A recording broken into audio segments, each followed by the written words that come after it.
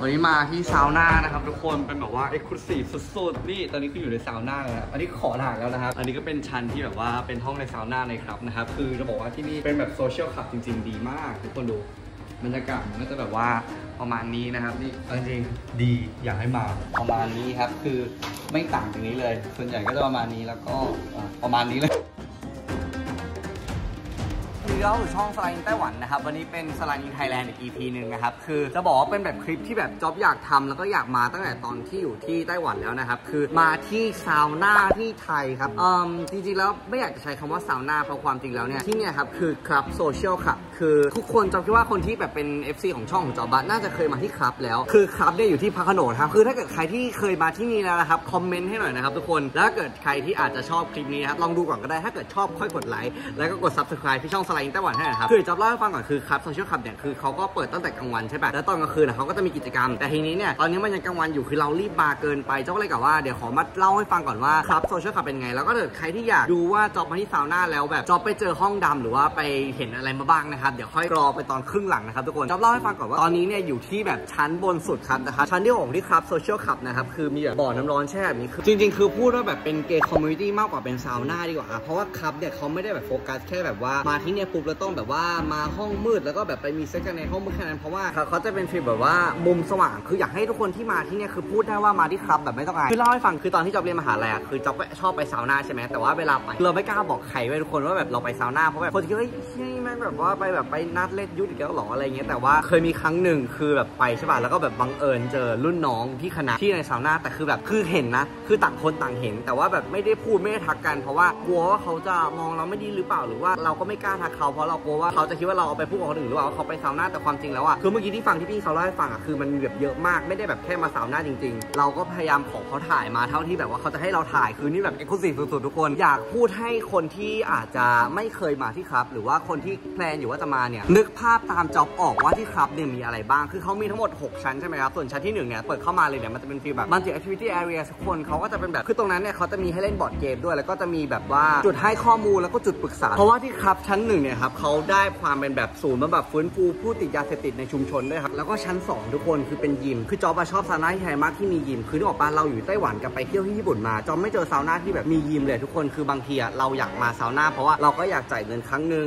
มานั่งคุยกันหาเพื่อนหาผู้ชายแล้วก็ได้ออกกำลังกายด้วยเป็นแบบว่าในแบบ one stop service ราคาเดียวนึกออกไหมครับ อันนี้คือค่อนข้างร้อนนะทุกคนเพราะว่าแช่อยู่ในบ่อน้ำอุ่นนะครับ และยิมก็แบบค่อนข้างสะอาดเลยคือความจริงเนี่ยเขาก็เปิดประมาณบ่ายสามครับก็ถ้าเกิดใครที่ยังไม่ได้อยากมาห้องมืดเลยเนี่ยก็มาที่นี่ก็มาเล่นยิมก่อนก็ได้ขอโทษครับจะพูดผิดคือชั้นที่ 2 เป็นห้องล็อกเกอร์ครับส่วนที่3เนี่ยเป็นห้องยิมที่นี่เนี่ยล็อกเกอร์เขาเป็นแบบอย่างนี้ด้วยนะทุกคนคือเป็นเป็นแบบ wristband ที่เป็นแบบคีย์การ์ดคือ เราไม่ต้องใช้กุญแจฝากของนะครับก็เอาเนี้ยไปตี๊ดได้เลยแล้วก็เปิดเก็บของแล้วก็ถ้าเกิดซื้ออะไรก็บอกเขาว่าเราเบอร์เท่าไหร่แล้วก็ค่อยมาจ่ายตังค์ทีหลังส่วนชั้นที่ 3 ที่เป็นยิมเนี่ยคือความจริงเขามีห้องหนึงทุกคนเขาเรียกว่าห้องฟังชั่น a ลรูมคือ มีแบบกิจกรรมเยอะมากคือวันจันทร์เนี่ยก็เป็นแบบ photo shoot ทุกคนให้แบบคนเข้ามาถ่ายรูปได้สิบรูปแรกถ่ายฟรีครับวันอังคารก็เป็นแบบ massage ฟรีแบบนวดกระษัยนวด G-spot วันพุธเนี่ยเขาก็จะร่วมกับคลินิกนะครับเป็นฟรีแบบว่าจิตบำบัดแล้วก็สามารถตรวจหนองในที่ได้ด้วยนะครับคือปังคือที่ไต้หวันก็ไม่มีส่วนวันพฤหัสครับคือจอบอะเล่นทวิตเตอร์ใช่ไหมแล้วคือจอบอะเห็นแบบมีทวิตเตอร์คนหนึ่งคือเขาบอกว่าที่เนี่ยมีแบบ cock mol ding ก็คือสามารถ molding หรือว่าปันตัวแบบอวัยวะเพศคือน้องจุ๊จู่ของเราเนี่ยคือแบบเป็นแท่งได้เลือกก็เป็นแบบว่าเป็นปูนปลาสเตอร์หรือว่าเป็นเจลที่เอาไปทำเป็น dildo ด้วยอื้อหืออันเนี้ยคืออยากทำมากคือเห็นมานานแล้วตั้งแต่ในทวิตเตอร์คือนึกออกปะคือ feel แบบคนที่อยู่ที่ไต้หวันแต่ว่ามันมาไม่ได้เลยคือได้แต่ดูแค่คนอื่นมาทุกคนคือมันแบบแอบ fail นะคืออยากมา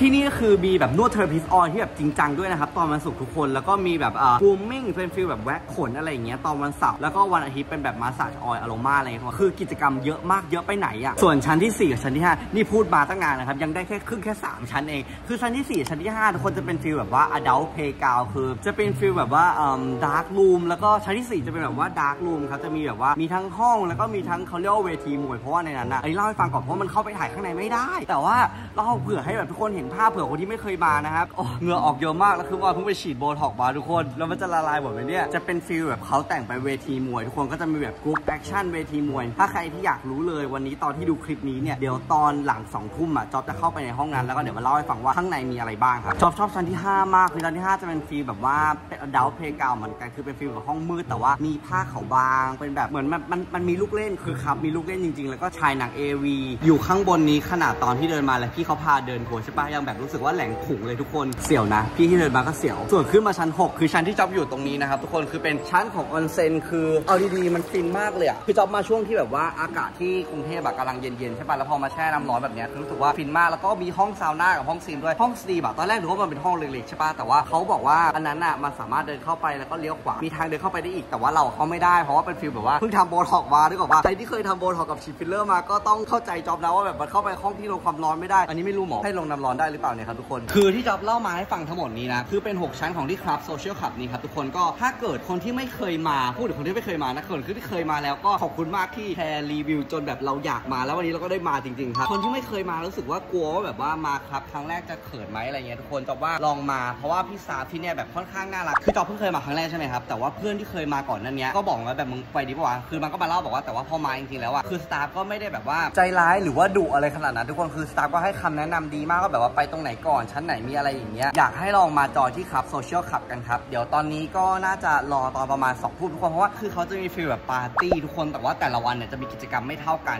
วันพุธวันศุกร์มีเวทีมวย2ทุ่มวันเสาร์มี double party วันอาทิตย์มี double afternoon party คือขนาดฟังแล้วยังเสียวเลยอยากนึกออกไหมมันเป็น feel แบบอยากมามานานสุดท้ายก็ได้มา ถ้ามารีวิวซาวน่าแบบนี้นะครับ ไม่ได้มาคนเดียวทุกคนคือพี่เลมาด้วย ให้พี่เลมาเพื่อความสบายใจนะครับ เพราะว่าถ้าเกิดปล่อยเรามาคนเดียวเราน่าจะแบบว่าลีหูลานบูนนี่ก็ปะแล้วก็คนที่มาที่นี่นะครับ ส่วนใหญ่จะเป็น feel แบบวัยรุ่นวัยทำงานเอาจริงๆคือมีมีทุกแบบ แต่ว่าเดี๋ยวเย็นนี้จะมาเล่าให้ฟังว่าที่นี่เป็นยังไงบ้างนะครับทุกคน เดี๋ยวตอนนี้ไปพักผ่อน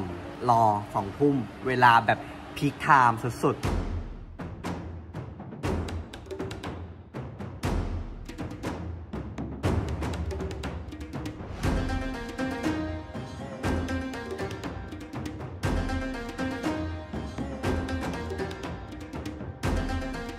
นี้คือจอบกลับมาอีกรอบหนึ่งตอน2องทุ่มแล้วนะครับ เดี๋ยวจะขึ้นไปดูกิจกรรมข้างบนครับ เพราะว่าเขาบอกเป็นไฮไลท์ของที่นี่เลยนะครับทุกคน เมื่อกี้คือตอนที่เปลี่ยนเสื้อผ้าครับ คนเยอะมาก แล้วก็แบบมีแต่แบบวัยรุ่นหุ่นดีทุกคน คือไม่คิดว่าดีขนาดนี้ คือแบบดีกว่าที่คิดไปเยอะมาก คนเยอะแล้วครับ เดี๋ยวจะไปเดินข้างบนแล้วก็เดี๋ยวมาเล่าให้ทุกคนฟังว่าเป็นไงบ้าง ตอนนี้คือขอใส่ชุดเอียงขึ้นไปดูก่อนนะครับ แล้วก็เดินตั้งแต่ชั้น 2 3 4 5 6 ไปแล้วเดี๋ยวลงมาเล่าให้ฟังว่าข้างบนเป็นไงบ้าง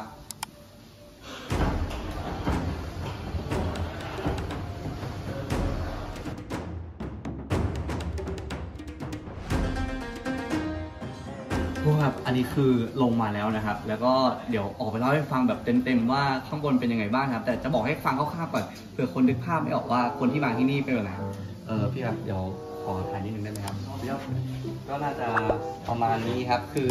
ไม่ต่างจากนี้เลย ส่วนใหญ่ก็จะประมาณนี้แล้วก็เอ่อประมาณนี้เลยพูดง่ายๆขอบคุณมากครับแกคือตอนแรกที่คิดไว้ว่าแบบมันจะดีอะแต่ว่าพอเข้าไปจริง ๆอะคือมันดีกว่าที่เราคิดไว้อีกอะที่ดีในที่เนี้ยคือจะหมายถึงว่าคนสถานที่กับบรรยากาศ คือตั้งแต่ชั้น 2 แบบขึ้นไปบนล็อกเกอร์อะคือตั้งแต่ชั้นล่างแล้วตอนที่จอบเข้าไปอีกรอบหนึ่งอะส่วนใหญ่ที่เราเห็นนะคือจะเป็นคนแบบวัยรุ่นกับวัยทำงาน คือก็มีทั้งคนไทยแล้วก็ชาวต่างชาติบ้าง แต่จริงๆฝรั่งคือแอบเยอะกว่าที่เราคิดไว้นะ แต่ส่วนใหญ่จะเป็นฝรั่งที่แบบเป็นรุ่นวัยทำงาน และแต่ส่วนคนไทยเนี่ยจะมีทั้งหมดเลยครับทั้งแบบวัยทำงานแล้วก็วัยรุ่นแต่ส่วนใหญ่แล้วอะคือหุ่นดีจริง คือหุ่นดีคือดีกว่าที่เราคือจำได้ไหมคือตอนเช้าที่จอบไปรอบแรกอะและตอนนั้นเราไปห้องฟิตเนสอะคือจอบเห็นแล้วว่าคือตอนนั้นอะคนไม่เยอะทุกคนมีประมาณแบบว่าไม่ถึงสิบคนที่อยู่ในซาวน่าแล้วก็คนที่เล่นฟิตเนสอยู่อะห้าคนอะคือหุ่นดีหุ่น lean คือดูแล้วแบบยังคันเลยอะพอตอนเย็นคนที่เริ่มมาเยอะๆครับก็มีทั้งแบบวัยรุ่นแล้วก็วัยทำงานที่ใส่ชุดสูทผูกไทมาหรือว่าแบบว่าเด็กวัยรุ่นที่แบบแต่งตัว casual มาที่ห้องล็อกเกอร์ครับ เอาจริงนะ พูดแบบไม่เวอร์เลยนะ คือคนที่ Krubb เนี่ยถือว่าค่อนข้างงานดีเลยนะทุกคน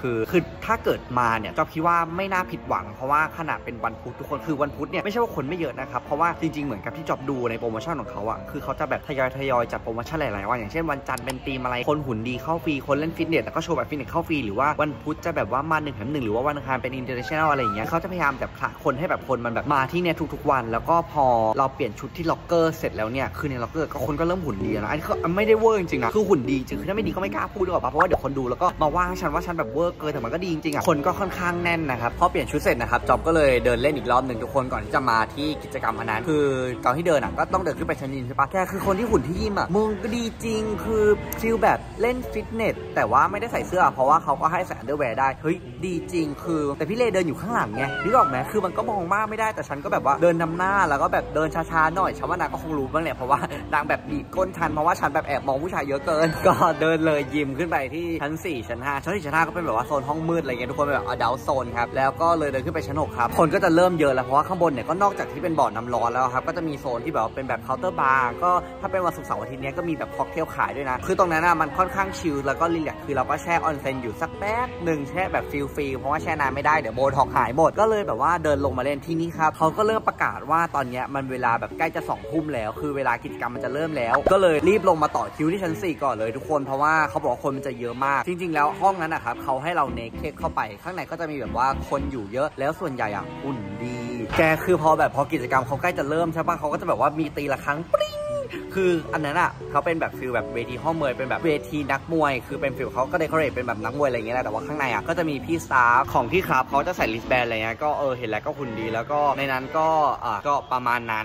นึกออกไหมแต่ว่าเราอะทำอะไรไม่ได้ เพราะว่าพี่เลยืนอยู่ข้างด้วย แต่ถ้าเกิดใครที่แบบอยากจะลองมาดูว่าที่เนี่ยเขาเป็นยังไงแนะนำให้มาด้วยตัวเองอย่างที่บอกไปว่าที่เนี่ยเขาค่อนข้าง friendly คนงานดีมีกิจกรรมเยอะมากห้องซาวน่าห้องซีห้องออนเซ็นมี therapist มี cock molding มีตรวจสุขภาพคือของเขาดีจริงๆครับ คือที่นี่เขามีอะไรทำเยอะมากอย่างที่เขาบอกว่าเป็น Krubb Social Club จริงๆ ก็ลองแวะมาที่ Krubb Social Club นะครับทุกคนก็เดี๋ยวเจอกันคลิปหน้านะครับว่าจะไปรีวิวที่ไหนต่อนะครับทุกคนแต่คือคลิปนี้ก็มีความสุขมากๆครับทุกคนอย่างไรก็มาถึงตอนนั้นที่ไทยแล้วนะครับบ๊ายบายทุกคน ก็ถ้าเกิดสมมติว่าใครชอบคลิปนี้นะครับยังไงฝากกดไลค์กดแชร์กด subscribe ที่ช่องสะใภ้ไต้หวันด้วยนะครับแล้วก็เราอยากจะไปรีวิวที่หลาย ๆ ที่ที่ทุกคนแนะนำมา อันนี้ก็เพราะว่ามีคนแนะนำมาเราก็เลยแบบว่ามาที่นี่ครับที่ Krubb Social ก็ขอบคุณทุกคนมากนะครับที่ติดตาม เดี๋ยวไว้เจอกันในคลิปหน้าครับทุกคน บ๊ายบาย